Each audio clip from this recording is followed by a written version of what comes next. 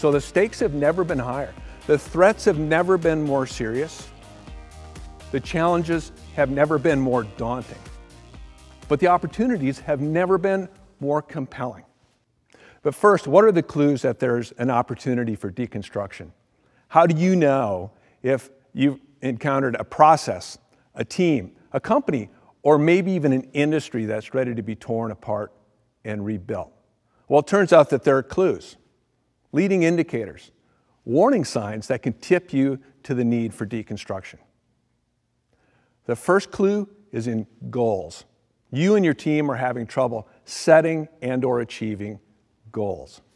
Now it's difficult to pull together those disparate functions, sales and marketing and engineering and finance and service delivery and operations to arrive at common goals, real goals in writing with money attached. That's difficult. But even when you forge agreement around those common goals, the team frequently misses them, often without apparent consequence. The second type of clue is around performance.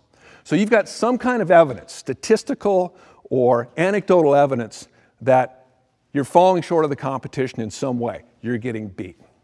Now, this could be a traditional business goal like growth in revenue or profitability, or it could be something that's specific to your industry, innovation or customer satisfaction or employee retention.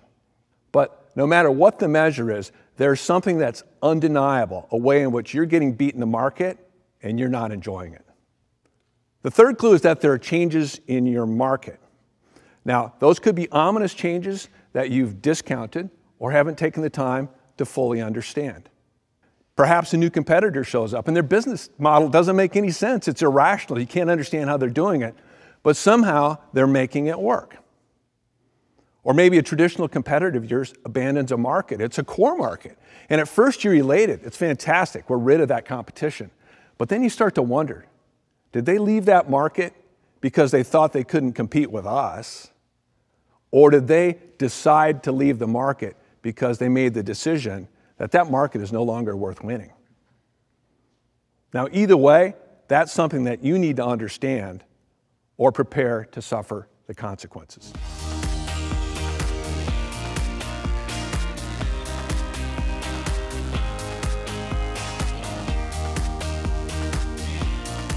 The transformation that I create for audiences is to shift from something I've heard in the past, which is my job is easy, but working here is hard. I shift from that to my job is easy and I love working here because of the way we come together to do important things. But the thing that really bothers me, that really drives me crazy about this, that really sticks in my craw is that those problems, maybe not all of those problems, but many of those problems are solvable if we would just take a different approach. That approach is deconstruction. There's one final story I'd like to share with you that I think really pulls this all together, brings the entire deconstruction process into focus. In the year 2000, two brothers were hitting golf balls at a driving range in the UK. Now they decided that that was drudgery and just wasn't much fun at all. Unfortunately for the sport of golf, that's not a unique experience. A generation raised on video games was rapidly deciding that golf was an expensive, time consuming luxury. A luxury, not a hobby. That was difficult to learn and in the final assessment, just not worth the effort. But the brothers thought that they could help, that they could find a way to work on their game and still have fun in the process. To figure this out, they embraced the five steps of the deconstruction process. First, they declared that they would re examine the very nature of golf itself, but not from the perspective of a purist, from the perspective of an enthusiast. So their goal was to remake golf into this engaging entertainment experience by making it more social and just plain more fun. Second, they disassembled the game of golf into its component parts, and they decided to focus on the long game. Now, that's typically one of the most challenging aspects of the game for beginners. And I know, since I've been a beginner at golf for about 30 years at, at this point. But they decided to focus on that because it was the area where there was the most to gain and because no one had ever done that before. Third, as they looked at the possibilities, they discovered a possible mashup of games and technologies. And what they decided to do was to blend a golf driving range with the social environment of a pub and combine that with the clear scoring and immediate feedback that comes from sports like darts or bowling. Now, there was an IT component to this, certainly, but one of the cool technologies that they used to pull the whole thing together was something called RFID tagging. And what that allowed them to do was to actually label each and every golf ball individually. So if you're a golfer and you smack that ball out there, you've got instant feedback about where the ball went, how you hit it, and what your score is. So no more lost balls, no more drudgery putting in time on the range wondering what, what happened. Just no more drudgery. Fourth, they delivered this concept to major cities across the UK and the US, and they called it flat out fun. This is golf, right? But it's flat out fun the way you encounter it at Topgolf. And the final aspect of this is that Topgolf is digesting the feedback that they're receiving from their customers about this new market that they've created. Now, they've got things like meeting spaces for corporate meetings and, and, and family events and that sort of thing. But they've also just started something called Topgolf TV. So, what Topgolf TV is, is the opportunity for media and sports personalities to talk about their encounters with this exhilarating entertainment experience, which used to be golf, but is now top golf. And by the way, the personalities that they're working with go straight at the 18 to 34 year old demographic that they view as critical to the su success of top golf, and which, by the way, doesn't really feel very connected with the sport of golf. So, by many measures, the traditional sport of golf is really very challenged, right? 10 golf courses close for every one that opens every year in the United States, and it's estimated that 200,000 golfers give up the sport every year. But that's golf, not Topgolf. Top Golf has got 37 locations open, and trust me, they're booming. They've got 18 more in the plans, which would give Topgolf a total of 55 locations in six countries on four continents. Now, if two brothers can do that with something as entrenched as golf, just imagine what you can do with all the things that you've got to work with.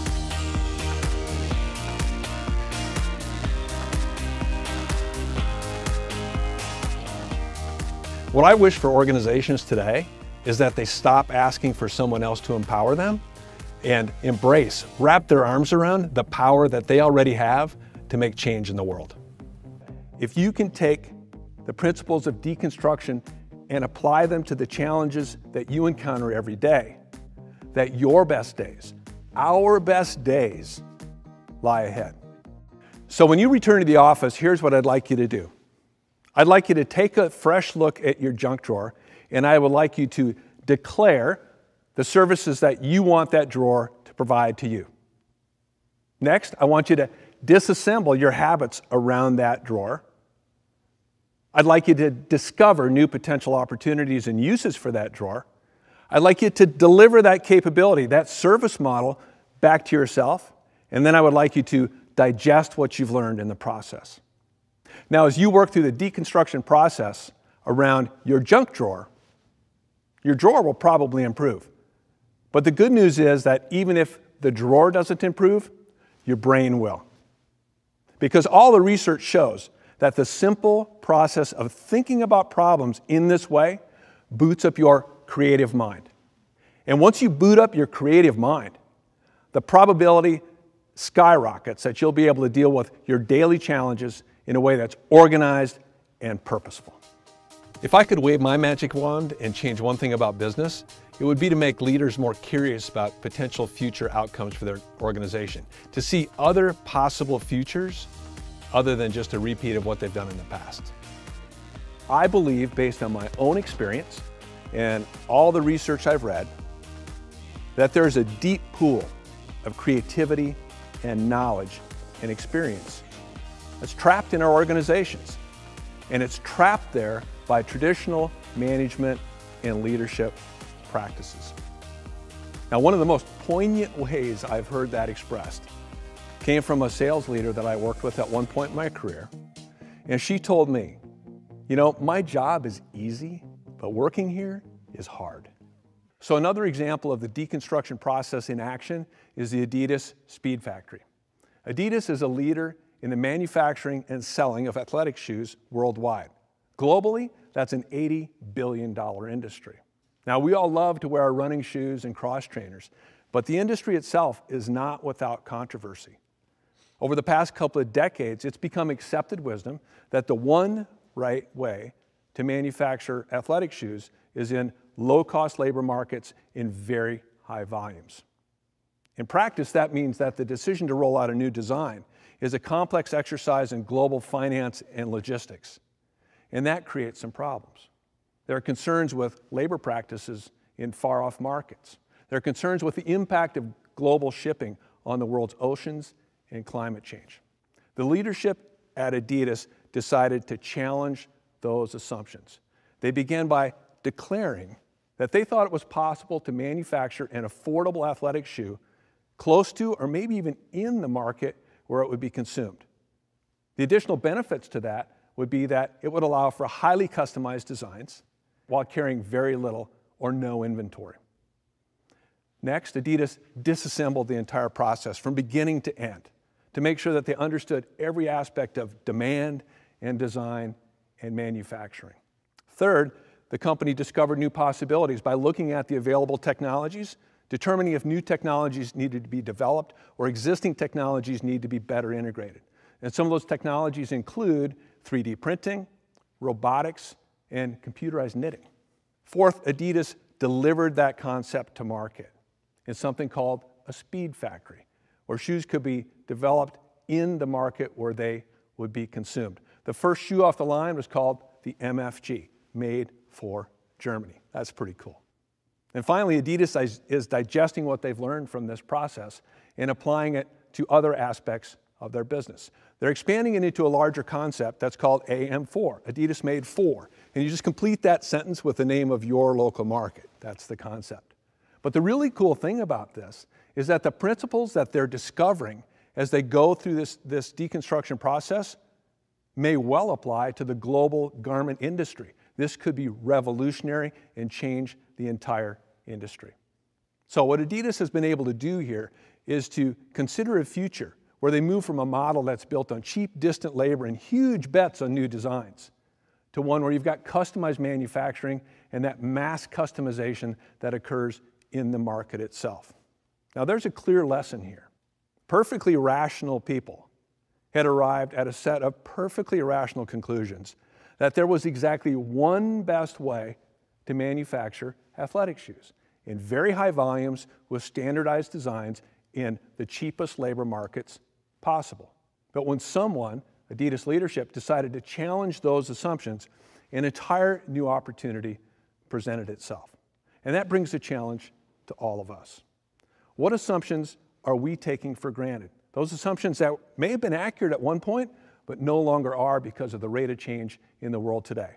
Assumptions about our markets, the way we serve them, what our customers want from us, the technology we use, the way we use it, what we've integrated it with. The kinds of things that keep us doing things in the way we always have. The assumptions that if you were a competitor coming into your industry, you'd want to find out and capitalize upon. What are we doing to dig out those assumptions, to find new tools that we can use in our businesses, repetitive tasks that no longer make sense can be eliminated or automated, and new approaches that allow us and our employees to challenge our perspective and become free to see new opportunities in these markets going forward.